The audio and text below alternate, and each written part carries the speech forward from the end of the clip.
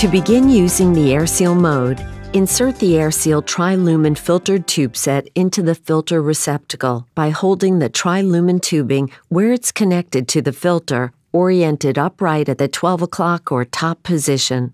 Then push the locking lever down until it stops. The IFS will automatically detect the corresponding tube set and launch into AirSeal mode.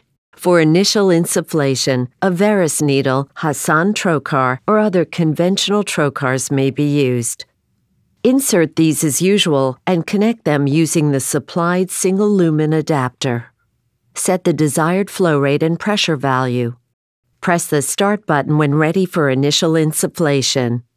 Please note, because the AirSeal system creates a softer, more dynamically pressurized abdomen, it is recommended to insert the AirSeal port last to minimize tenting. Once the initial insufflation is stabilized, insert the AirSeal access port. It's important to ensure the black line at the distal tip of the cannula is fully visible inside of the abdominal cavity prior to connecting the tube set. Do not remove the cannula's obturator yet. Close the stopcock. Disconnect both ends of the single lumen adapter and set it aside. Remove the manifold plug from the bullseye manifold on the AirSeal access port. Connect the now exposed tri-lumen tubing connector to AirSeal's bullseye manifold by turning the tube set's locking ring clockwise until it's tight. The IFS will automatically launch into AirSeal mode once the tri-lumen tube set is connected. When stabilized, the display will indicate to remove the obturator. The obturator is easily disconnected from the cannula by squeezing the buttons on either side of the obturator and gently pulling it out of the cannula. Upon removal of the obturator, the IFS will perform a calibration.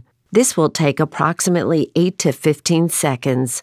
Once complete, an audible tone will sound alerting the user that AirSeal mode is active and ready for use, and a green bar will appear on the IFS screen showing AirSeal active. Note, it's important not to insert instruments or press on the abdomen during this calibration process.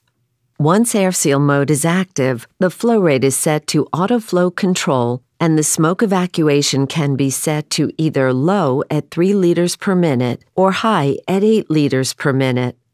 To revert back to single lumen insufflation from AirSeal mode, remove the sound cap from the top of the AirSeal access port if used. Insert the AirSeal access port obturator into the AirSeal access port cannula. Connect the single lumen adapter to the luer lock of the port where you will introduce CO2. Disconnect the AirSeal tri-lumen filtered tube set from the AirSeal access port. Close the manifold plug of the AirSeal access port. Connect the AirSeal tri-lumen filtered tube set to the single lumen adapter and open the stopcock for CO2 to resume. There is no need to press stop and then start on the IFS unit. The CO2 will continue to flow during the switchover process and the IFS will automatically detect when the tri-lumen filter tube set has been disconnected and the single lumen adapter has been connected. At the end of the procedure, press stop. AirSeal mode needs to complete a calibration prior to shutdown. Follow the screen prompts and wait for final calibration to complete prior to disconnecting the filtered tube set from the IFS unit and powering off the IFS unit. Please proceed to the next module for more information